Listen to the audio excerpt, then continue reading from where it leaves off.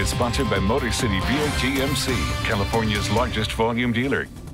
Welcome back to 23 ABC and this week we don't have just one but two pets of the week. Yeah, that's right. Double the pleasure, double the fun and I'm joined by Bernadette with Marley's Mutts. We're here with Jupiter and her brother O'Ryan. They're four months old, so cute. Tell us a little bit about them. Well, Jupiter and O'Ryan were actually part of a litter of five puppies and their mom that we rescued from Kern County Animal Control.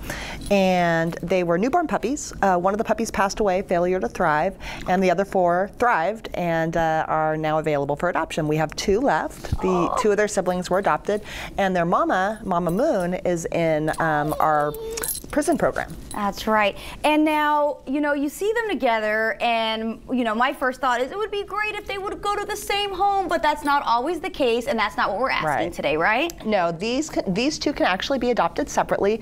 Um, when we leave the news today, we will be at the PetSmart on Calloway, so they will be there. If you would like to meet them, you can meet them from 10 to 2. Oh my goodness. And guys, they're so much fun. Now, they would be great, obviously, I feel like at any home at this point, right? They're, they're Any home, they're puppies, they're adaptable, they they're good with kids, they're good with adults, they're super sweet. Obviously, they're still working on house training manners, but they are crate trained. Oh my goodness. All right. And once again, you guys will be at the PetSmart on Calloway? Calloway. On Calloway this morning, right after this show. That's at 9 a.m. And if you would like to make Jupiter or O'Ryan, or hey, maybe both of them, a part of your family, you can go to marleysmutts.org. You can give them a call, or you can visit turnto23.com. Click on the Pet of the Week tab, and we'll have all their information up there in just a bit. As always, Miss Bernadette, we thank, Thank you. for bringing in what brings us so much joy here in the studio and would bring your family lots of joy too. You guys do this every week for us, and we're so grateful. All right, Miss Emma.